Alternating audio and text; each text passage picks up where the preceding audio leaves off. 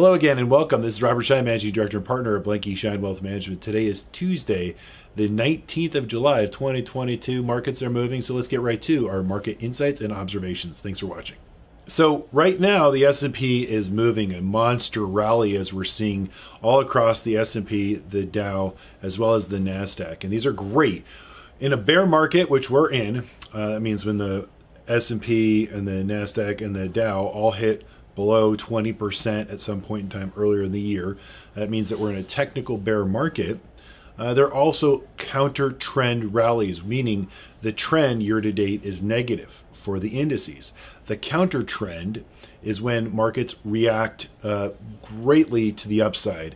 And a lot of it's short covering because a lot of positioning in Wall Street is to bet that the markets are going to go to lower lows. So that's called a counter trend rally. When you see rallies of anywhere from 500 to 1,000 points in one day, uh, that's what we're experiencing today in today's trading action. Actually, we saw that yesterday as well. When we first opened up, we opened up uh, tremendously, uh, a, a huge open, but we actually closed negatively, believe it or not. So we gave all of that back. Now, why would that be?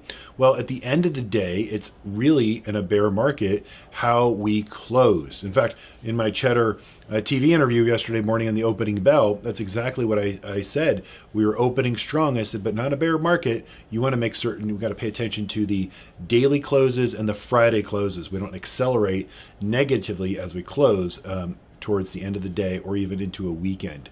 Uh, that's not a positive or healthy sign because that means that the buying has evaporated. That means the bears have taken over. Right now, at our current levels, uh, good news as we are trending uh, higher than the 50-day moving average.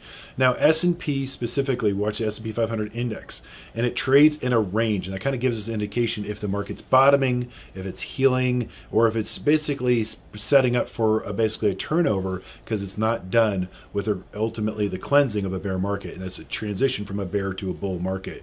Right now, as I stated, uh, the moving averages mean a lot. So the S&P right now, as we film this in midday, uh, the current level is at 39.30. Again, if you watched my Cheddar report yesterday, in my interview, I said that the S&P uh, moving average on the 50-day is around the 39, uh, 22, 24 level. And that's where we are. So we are above the 50 day moving average. Why that's significant is because this is the first, that's why I made it red. We have to close above it and then stay above it for several trading days. If we fade today's rally and we close below the 50 day moving average, that ultimately means that the bears are beating the bulls and that the buying at the end of the day is evaporating. So this is going to be a resistance point.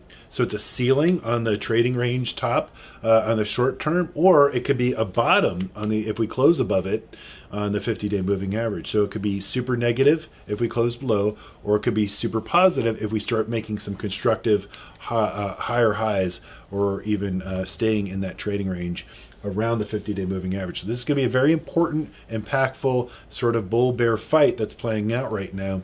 And hopefully we'll see that this rally continues more than just today. Now on the upside, we can see another 10% higher.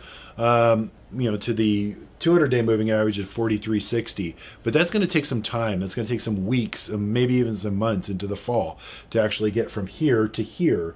And what you do is you traditionally bounce around these two guardrails, um, but it takes some time and makes some uh, uh, uh, it takes some work for trading to actually get there. Now, what's actually going to set that up and put a bottom in if we actually turn the tide at some point in time?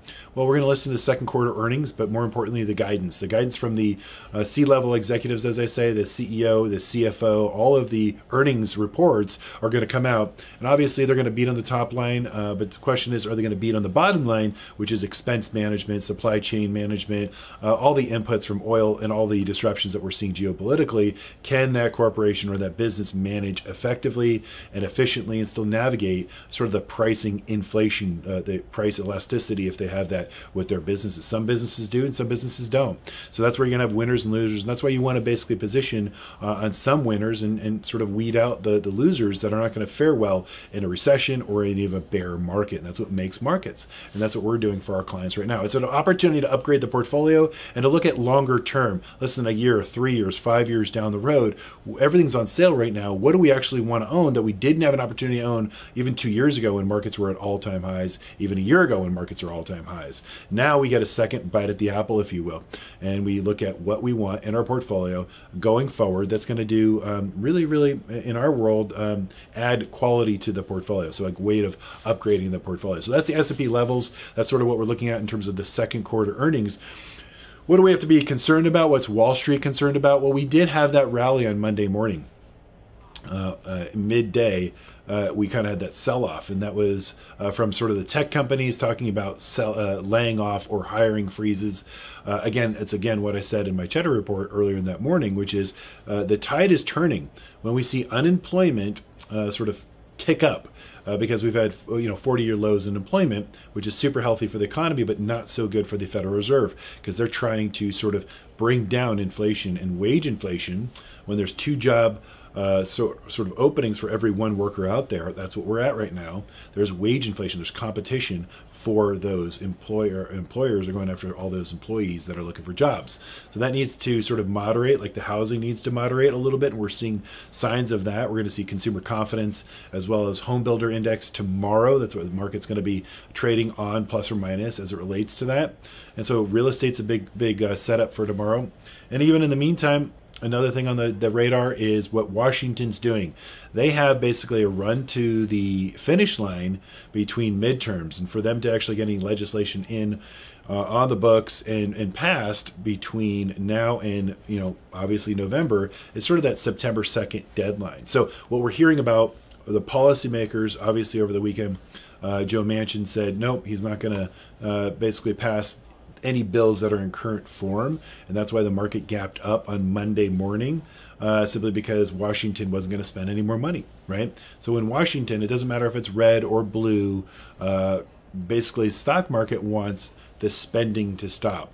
The Federal Reserve needs the spending to stop. If Dem- Democrats that are in control, let's say they hold House and Senate or control Congress, uh, there's another $5 trillion that's on the docket in their basically purview, on their runway, if they maintain control to basically get bills uh, sort of passed. And they will have the political sort of uh, numbers to do that. Now, betting odds, and actually what we've probably seen is we're definitely going to have a divided Congress. That's our belief here at Blanke Schein Wealth Management.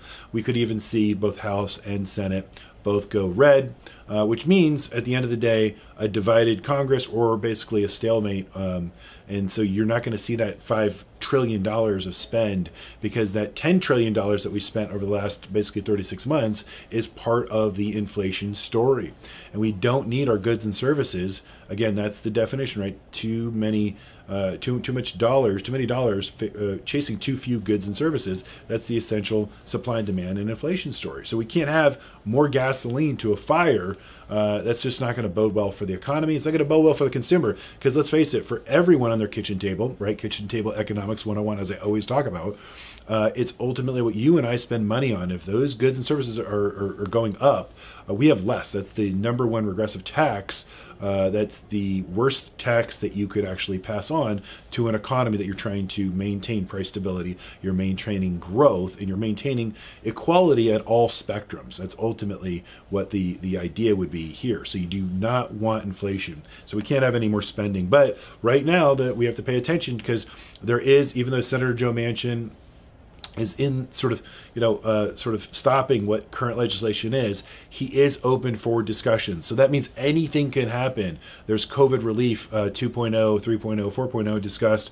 There's also climate change versus fossil fuel moderating on the com- climate change conversation potentially moderating on the, the fossil fuel sort of um, oversight uh, to, to ease uh, maybe uh, you know pain at the pumps potentially. These are all things that are being um, uh, circulated in Washington, according to lobbyists and, and, the research that we're reading. Of course, Joe Manchin is not going to vote for anything that doesn't have a reconciliation in it, as well as drug prices and Obamacare. Sort of, uh, you know, they're, they're going to talk about how they can handle health care uh, in this bill as well. So everything is evolving. It's real time, as we saw right this weekend. Joe Manchin says he's not on board, and the markets jump higher.